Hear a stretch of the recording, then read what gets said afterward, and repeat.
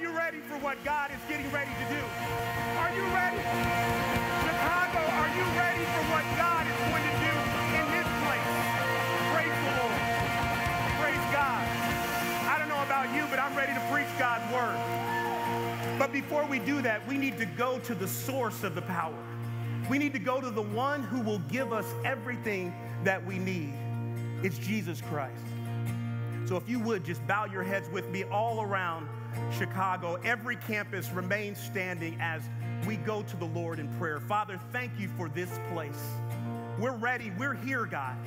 Your people have gathered together to hear a word, not from a person, but from you. God, as we open up your word, I pray that you would do what only you can do. Fill our hearts, that you would convict, that you would convince, and that you would encourage us to be better than we were yesterday. And we pray it in the mighty name of Jesus Christ. Amen. Give your neighbor a high five and take your seat in God's house as we get into the word today.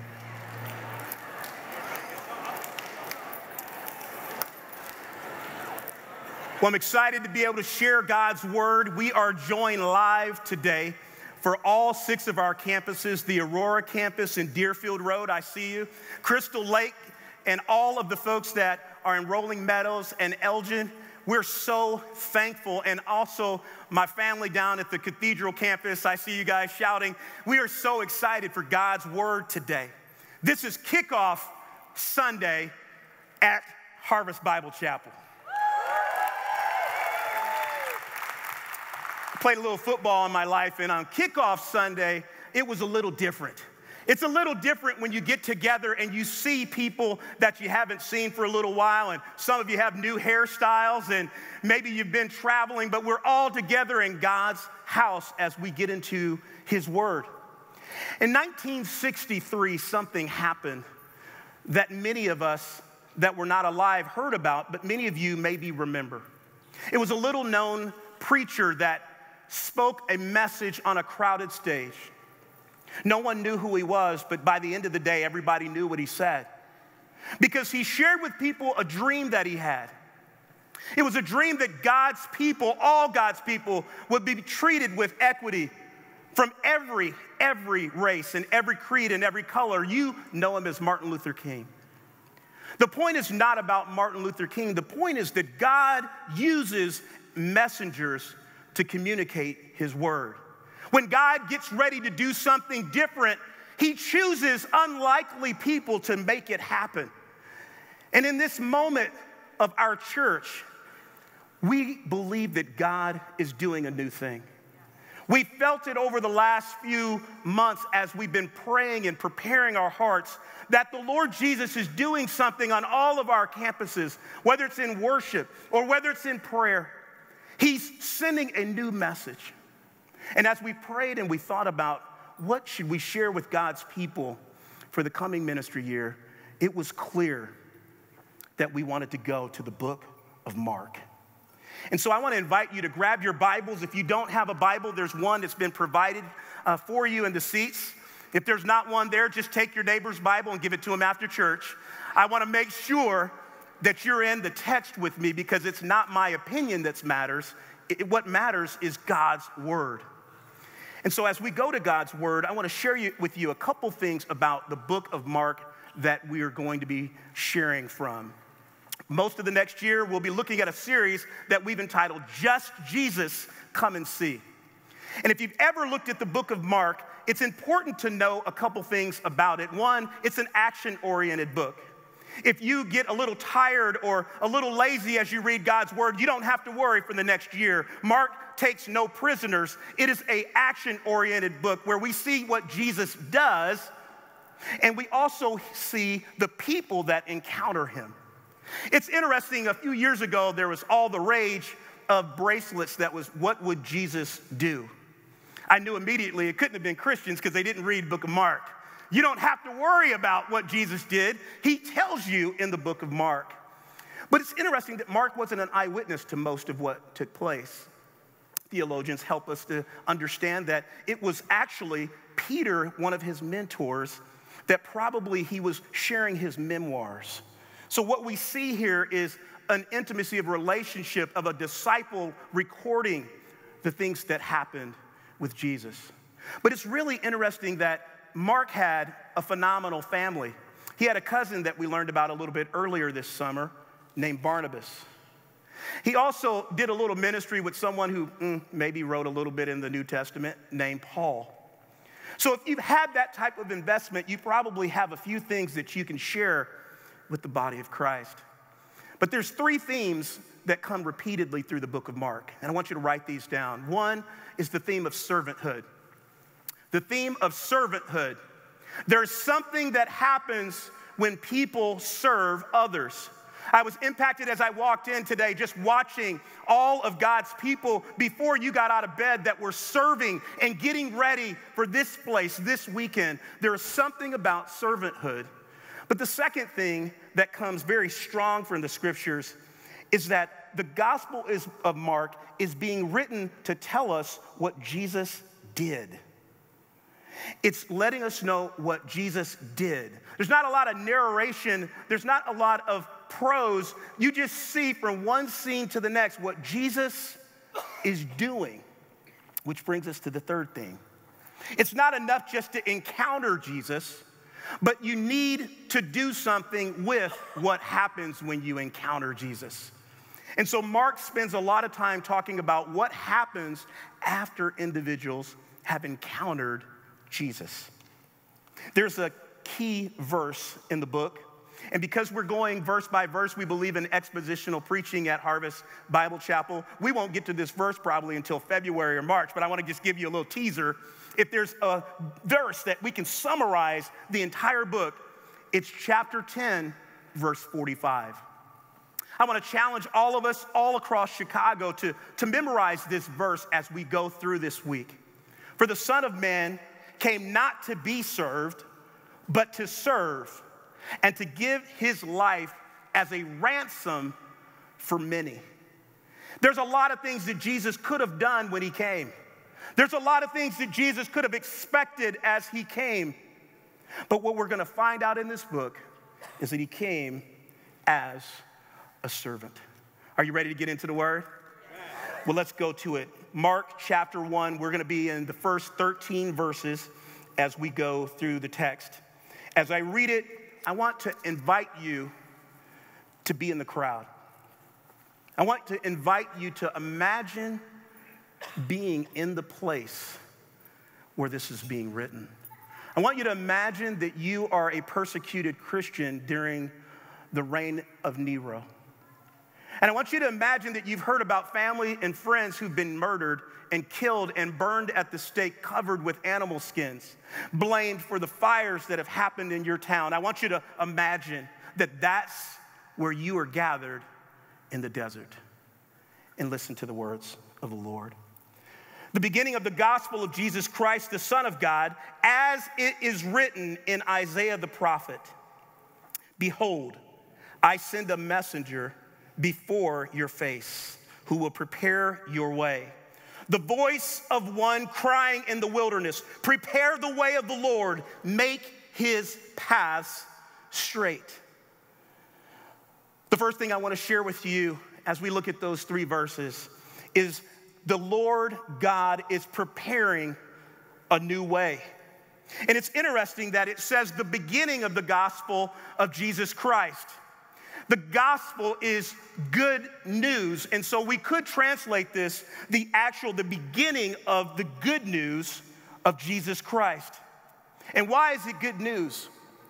It's good news because we had a serious problem in humanity. We had a sin problem that could not be solved. And for over 400 years, the voice of God had been silent. And here we see God entering into human history to begin the, mess, the mystery of the gospel of Jesus Christ, that he would bring Jesus, his son, into human history to help us. And we see the designation there He is my son. A new way of promise is the Messiah. A new way of promise is the Messiah. As you look at the quote there from Isaiah, good Bible students would know that as you look a little deeper into the text, it's actually not just one quote, but it's three quotes. I'm gonna give you the verses, and because of time, I don't have time to go into the depth of it, but I wanna give you the 30,000 foot view of why this quote is so significant. What we see here in the first uh, quote is from Exodus 23 20. You wanna write that down. Exodus 23 20. The second passage you wanna write down is Isaiah chapter 40, verse 3. Isaiah chapter 40, verse 3. And the last one you want to write down is Malachi chapter 3, verse 1. Why, Pastor Ed, are these passages so important?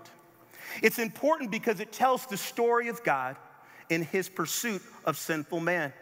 In Exodus, God chose to send an angel to lead his people, his chosen people, the children of Israel, out of captivity. But an interesting thing happened as they wandered in the wilderness for 40 years. They ran away from God and, and they didn't stay consistent with his testimony. And he continued to send prophets. And in Isaiah chapter 40, we get the foreshadowing of what actually we're looking at today. In Isaiah chapter 40, verse 3, I want to read to you what the Bible says so that you understand the consistency of the message of Scripture. It says, A voice cries in the wilderness, Prepare the way of the Lord, make straight in the desert a highway for our God. Every valley shall be lifted up, and every mountain and hill be made low. And uneven ground shall become level, and the rough places a plain.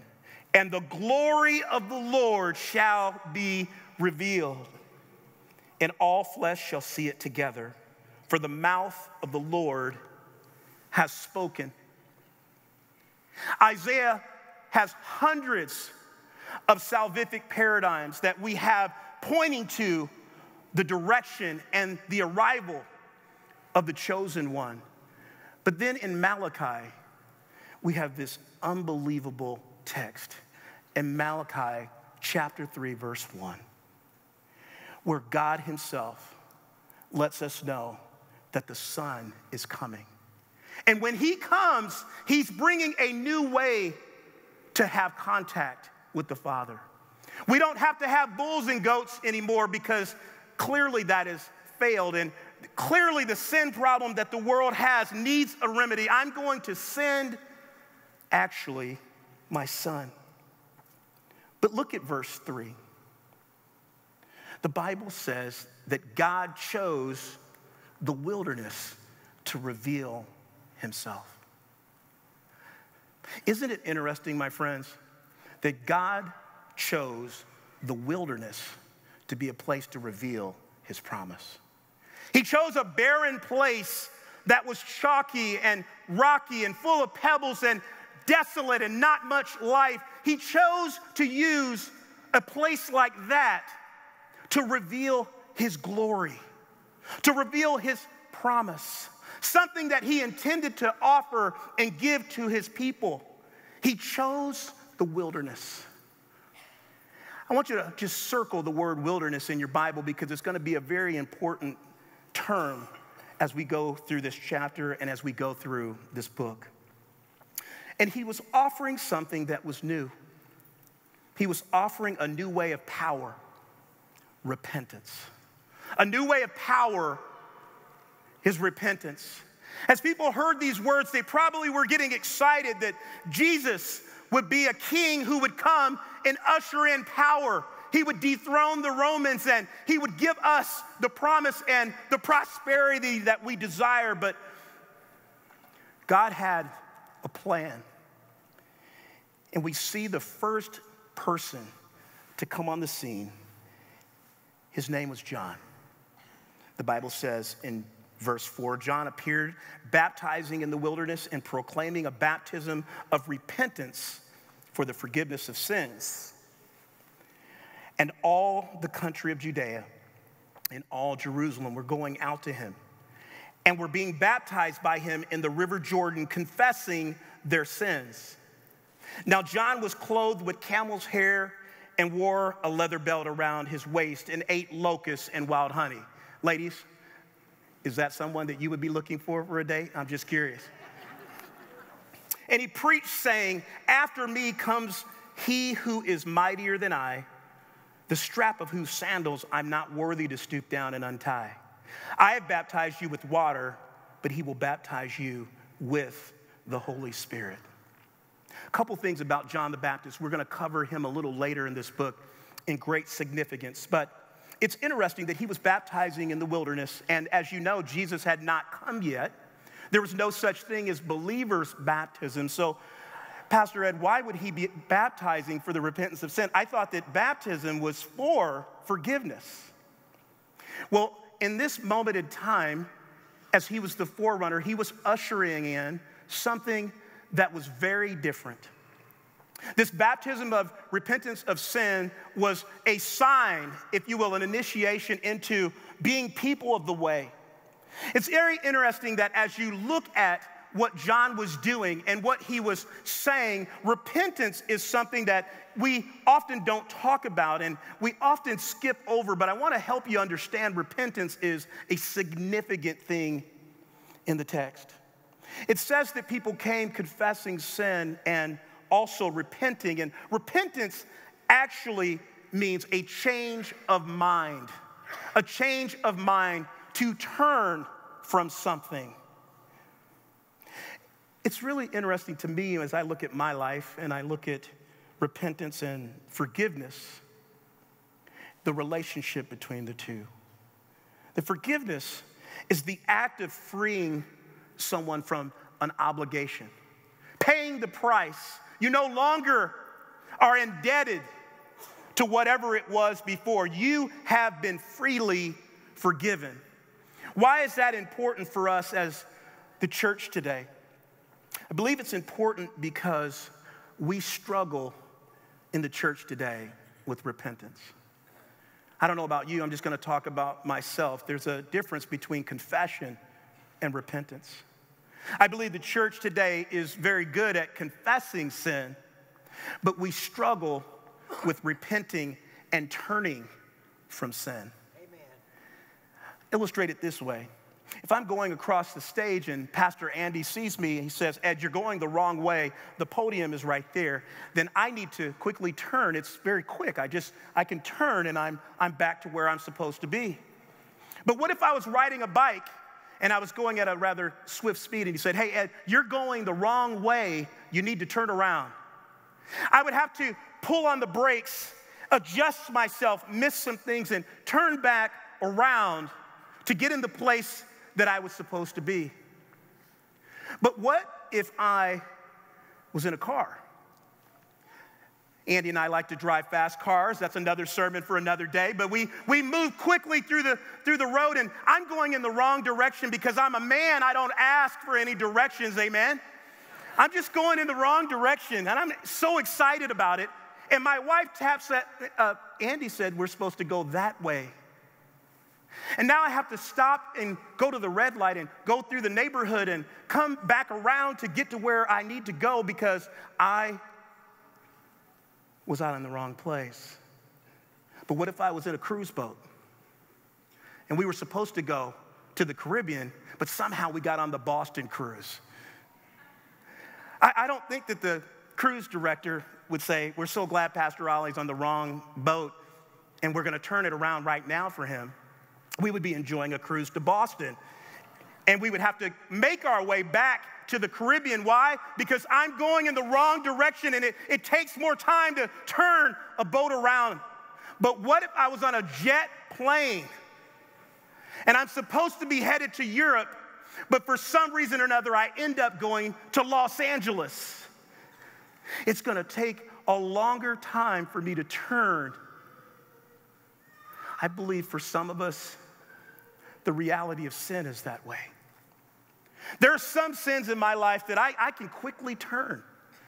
But I believe in the Bible, after 400 years, there's sins that were just so rooted in the people that John was preaching this baptism of repentance. Why? Because people needed time to turn from their wicked ways. If my people would hear my voice and turn from their wicked ways. If you would just seek my face, the Bible says, then I'll hear from heaven and I'll heal your land. There's something amazing that happens when we repent. Until God has done a work in me, God can't do a work through me. Until God has done a work in me, He can't do a work through me. I believe that God has had Harvest Bible Chapel in the wilderness for a reason. I believe that there are things that we need to work on. There are things that we need to repent of all over Chicagoland. Why? Because God wants to do something in us before he does something through us. But note the humility of John. He says that someone is coming after me mightier than me. I don't even have the ability to unleash the sandals of his feet. You may not have known historically it was the job of a slave to take off the sandals of a master. John is saying, I'm not even worthy to be a slave to Jesus. I'm not even worthy to touch his sandal.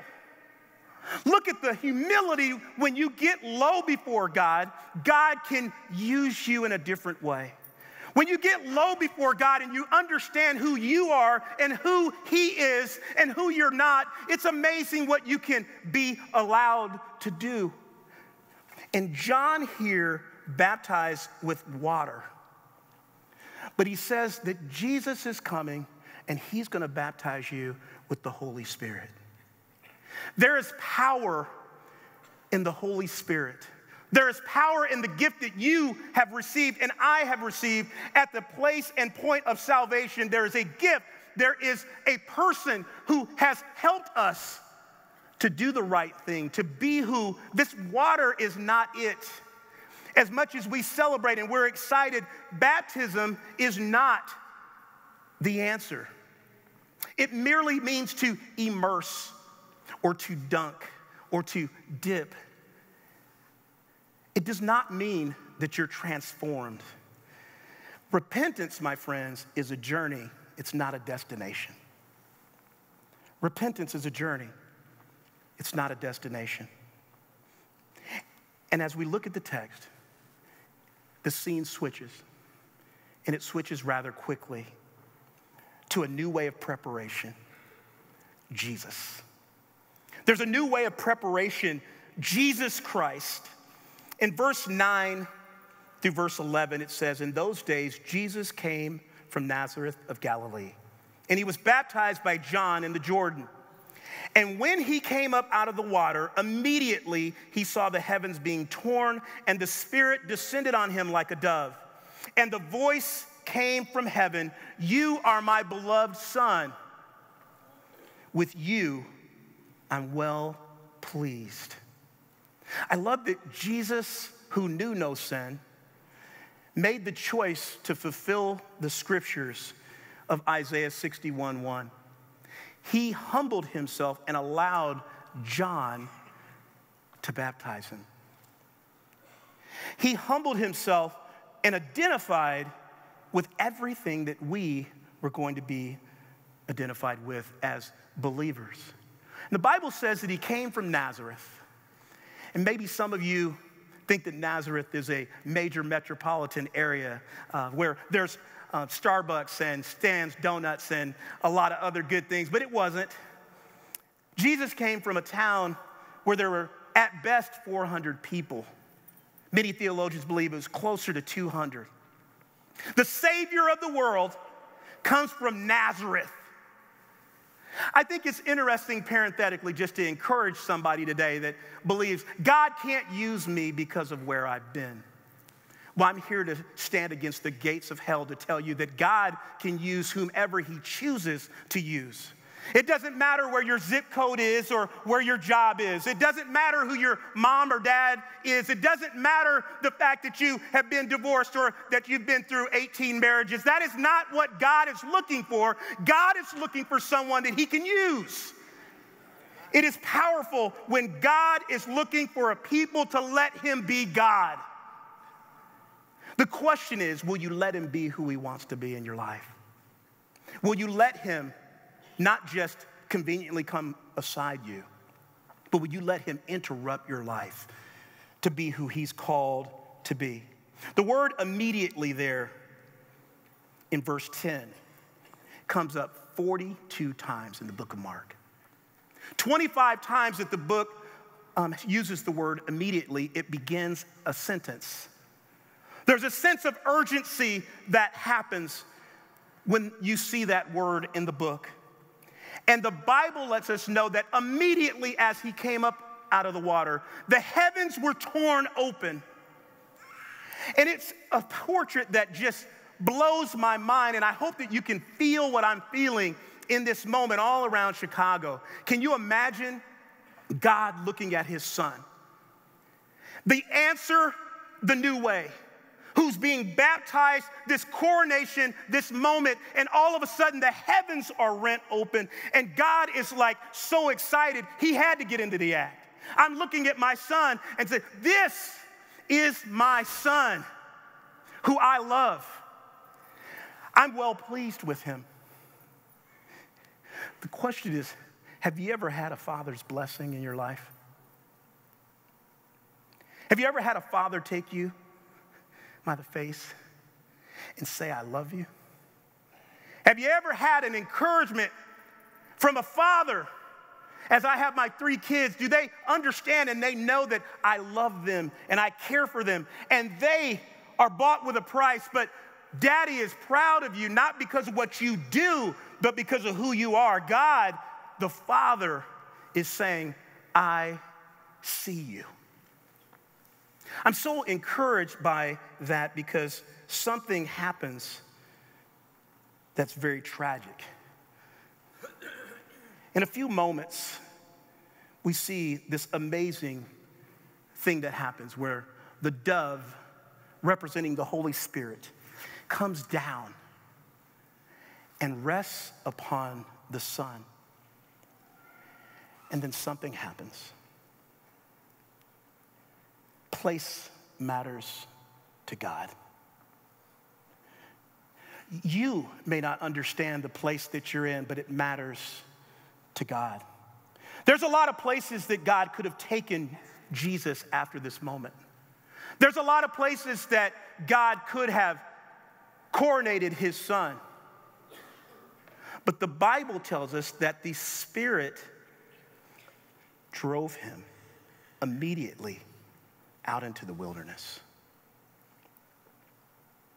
I'm struck that there are so many people who miss God because they don't understand the place that they're in. They miss God because they misinterpret what the wilderness actually is. I want to take you back to something that we saw in the preceding verses that struck me that it says that people went out to hear the word. They went out to see John. I think it's interesting that sometimes God has to take us out of our place of comfort to reveal himself. Sometimes God has to take you out of the place that you're familiar with to be able to reveal himself. Why is this significant? It's because last week, while we were worshiping the Lord Jesus, something happened that I've been thinking about the last seven days. The largest service in Chicago took place not in a church, but it was led by a hip hop artist that maybe a few of you know. He's a Chicago native, and his name is Kanye West. And before you begin to say that I'm, I'm going to the church of Kanye, let me just make it clear Kanye's loved by God I don't know what his relationship with Jesus Christ is. The point is this in less than an hour, he said he was going to have a Sunday service where worship songs were sang and a few of his songs reinterpreted. And guess what happened? Over 30,000 people showed up for church in a pavilion outside of a church last Sunday. And guess what? Not 15 of those people would ever step foot in Harvest Bible Chapel. Not one of those groups would see Harvest Bible Chapel or any church as a place that was worthy for them to step foot. And I'm saying to the Lord Jesus, Lord, help us to become a people who can answer the yearning and be the messengers of love and grace to come alongside those who are asking the question where is God? Where is Jesus? I can't see him because of the people.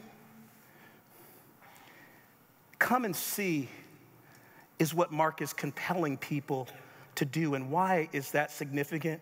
Because in this last portion of Scripture, we see that preparation always precedes exaltation. Preparation always exceeds and precedes exaltation. That there was a work that was getting ready to take place for three years. And the Son, who had already been walking the earth for 30 years, is taken into the wilderness. Go with me to these last two verses one last time. The Spirit immediately drove him out into the wilderness. And he was in the wilderness 40 days, being tempted by Satan. And he was with the wild animals, and the angels were ministering to him. Harvest, there's something we need to understand. If you don't get anything else today, you need to understand that turning from sin is the pathway to receiving God's promise. Turning from sin is the pathway to receiving God's promise. I want to submit to you, Harvest, that maybe we have misinterpreted the wilderness that we've been in as a church. Maybe we've misinterpreted that 2019 is not actually a place of pain and suffering, but maybe it's a place of preparation. It's interesting that God chose to send his son, who he just blessed and told that he loved him, into danger and harm's way. And in case you didn't know it, Satan knows the Bible better than you do. Matthew chapter 4 lets us know that there was a lot that went on in those 40 days. But it was in the midst of those 40 days that God brought angels to attend to his son. What if we saw the wilderness that we've been in as a church as a place that God is birthing new dreams? What if we saw the wilderness as a place where God is causing us to get low and to repent, to turn from our wicked ways so that God can be a portal of blessing? Maybe your pain is actually just a portal for the purpose that God has for you in your life. I don't know what it is for you, but I know what it is for me and the pastors of our church that we've begun to dream again. We've begun to have hope again, not because we see the destination, but because we see ourselves in the mirror. We see ourselves as fallen and needing of Jesus Christ and the anointing that He has. We need His Spirit to drive us not just into the wilderness, but we need His Spirit to lead us out of the wilderness.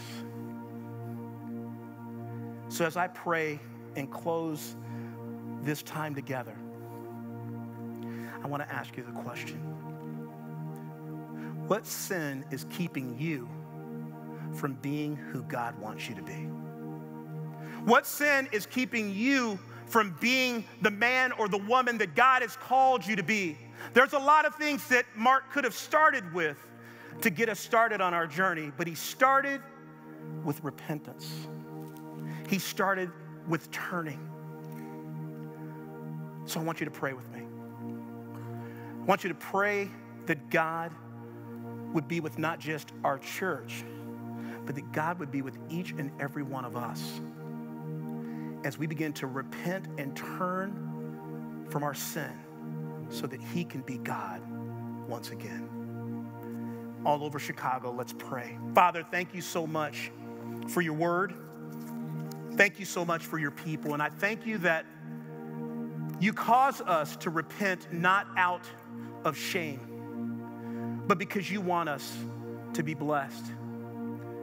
But we know that you, Lord Jesus, are calling us to turn from our sin because it is, in fact, the pathway to receive the promise of your Son. So, God, do it again in this place. Do it again in our lives.